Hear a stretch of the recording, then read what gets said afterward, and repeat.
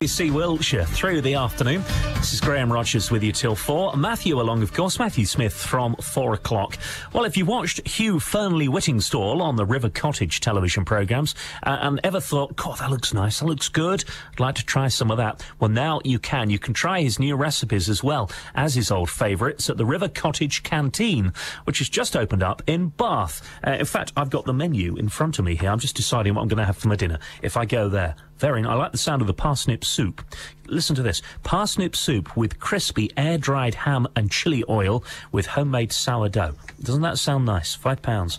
Mm, okay. Uh, well, Nikki Thompson went along to chat with Hugh Fearnley Whittingstall, and good old Nikki, direct as ever, asked him if he'd personally hand-killed any of the animals which are on the menu. No, no, I haven't. I've been uh, relatively restrained in, in, in, that, in that sort of behaviour recently. Um, no, obviously, what the menu is about here is the, the very best local producers. And uh, some of them we've known for a long time, and some of them are, are relatively recent, uh, kind of local to, very local to Bath discoveries.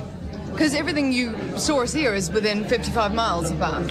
Yes, funny enough, I was longing for it to be 50, but um, our, one of our fantastic meat suppliers, uh, Sydling Brook Farm, Alistair Cooper, is he- here today, just over there behind me.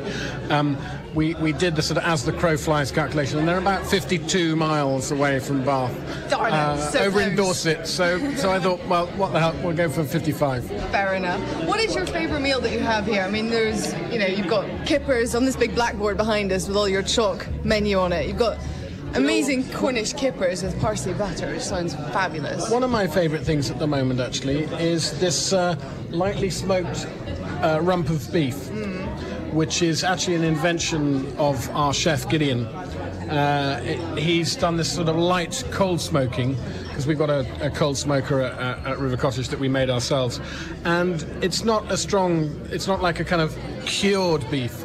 It's just in there for a few hours before it gets grilled and you can have it hot out of the smoker or cold and sliced as it is here in the salad. And it's just got a really subtle flavouring from the smoking, and I think it's delicious. So I'm really pleased with the, the, the, menu the guys have put together. They've, they've done a great job. And it's a really nice setup in here as well, actually. You've got your little cafe restaurant style, and then you go in the back and it's the comedy club. How did that work out?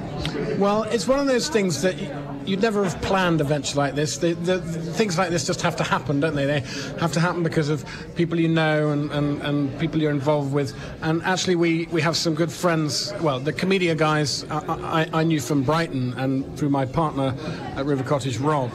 Uh, old friends of his, and we always liked what they did there. And they came to Bath, and we came to see them here, and the conversation started. What if? Why not? Let's give it a go and suddenly here we are. It's very exciting. So, do you think Bath has enough room for two celebrity chef egos? There's Jamie who's already here, and now you're moving in. Well, I'm not sure that the egos are really too much of a problem. I certainly think Bath has plenty of room for great food. And one of the things that is reasons is particularly thrilling for me to, to be now opening a place in Bath is that I honestly had my culinary awakening here when my parents took me out at the age of seven to, uh, to the Hole in the Wall, famous Bath restaurant, uh, now as then. Uh, and that really was a revelation. It was my first sort of serious restaurant experience. And do you remember what you ate then? Absolutely, yeah. What was it? I had smoked salmon, followed by it was a Sunday lunch, so it was a roast of the day under a huge silver dome. And I remember the excitement when this chariot was wheeled over to the table and the chef rolled over this giant silver dome to reveal a huge sirloin of roast beef.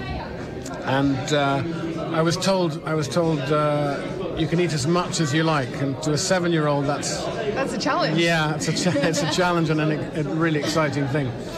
And after that, strawberries. It was, a, it was a hot summer's day, and they brought in a huge bowl of strawberries. And when I'd stuffed as many as I could in, in, my mouth. I remember squishing them in my napkin and watching the pink juice just seep through this expensive cotton napkin, and it was just it, it was a, a, a, sort of rite of passage for me, really. It was a, a, moment in my life that I'll never forget.